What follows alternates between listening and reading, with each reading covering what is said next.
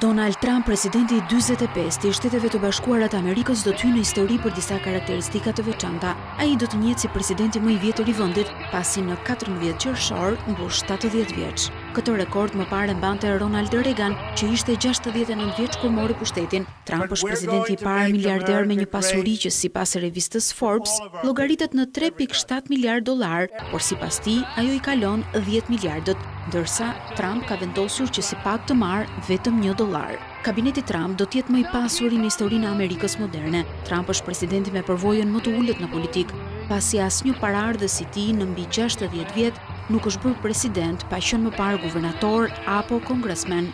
Fëmijët e tij do të jenë më të fuqishmit duke shkaktuar edhe kritika për nepotizëm, ndërsa dhëndri i tij do të jetë edhe këshilltar. Një tjetër veçori është se Trump nuk preferon kafshët shtëpiake dhe ai do të jetë presidenti i parë në njëqind vjet që nuk do të mbajë një të tillë në Shtëpinë e Bardhë. Trump fitoi presidencën falë platformës së tij për vende të reja pune dhe në dallim nga paraardhësi bëri përgjegjëse politikat e tregtisë së lirë për kolapsin e industrisë së prodhimit, përsa i përket zonjës së parë Melanie.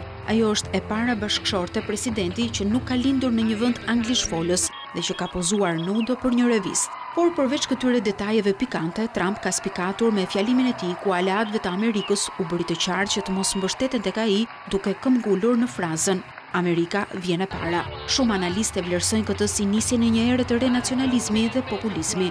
Trump nuk u përpoq të arrinte kundërshtarët apo ata që nuk e votuan, por u fokusua tek besnikët që e mbështetën në zgjedhje. Fjalimi që i ngjante deklaratave të një fushate ishte një thyerje e traditës së inaugurimeve të mëparshme, ku ai përdori fjalë të rënda për të përshkruar gjendjen e vendit.